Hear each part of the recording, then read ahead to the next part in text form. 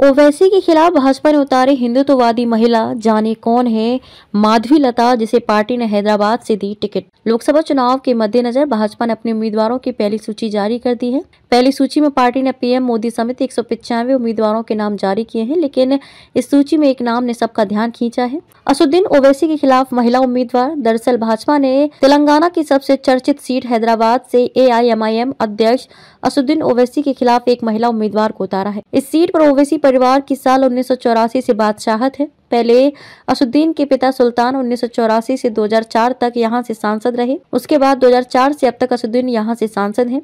इस बार भाजपा ने नया महिला चेहरा ओवैसी के खिलाफ उतारा। अब उस सबके दिमाग में यही है कि ओवैसी को टक्कर देने वाली महिला डॉक्टर माधवी लता है कौन? माधवी लता कौन है? माधवी लता तेलंगाना के विरिंची अस्पताल की चेयरपर्सन है और वो हिंदुत्व का मुखरता से प्रचार करती हैं।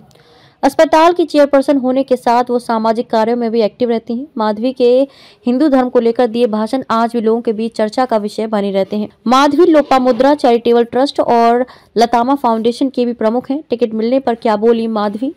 भाजपा से चुनाव टिकट मिलने पर माधवी लता ने खुशी जताई और ओवैसी पर हमला बोला। उन्होंने कहा कि हैदराबाद लोकसभा में साफ़ सफ़ाई शिक्षा और स्वास्थ्य सुविधाएँ नहीं है। माधवी ने कहा कि मदरसों में बच्चों को खाना नहीं मिल रहा है। मंदिरों और हिंदू घरों पर अवैध कब्जा किया जा रहा है, जिसे ठीक करना होगा। पहली बार महिला उम्मीदवार पर दांव, भाजपा ने हैदराबाद से पहली बार महिला उम्मीदवार पर दांव खेला है। इससे पहले पार्टी ने भगवत राव को उम्मीदवार बनाया था। हालाँकि भगवत को ओवैसी से लगभग तीन लाख वोटों से हार झेलनी पड़ी थी। इस बार भाजपा ने महिला उम्मीदवार को उतारकर मुकाबला कड़ा करने की कोशिश की है, लेकिन ओवैसी को उसके गढ़ में हराना आसान नहीं होने वाला है। अब देखने वाली बात ये होगी कि ओवैसी के गढ़ में क्या हिंदुत्व का चेहरा जीत पाएगा कि नहीं।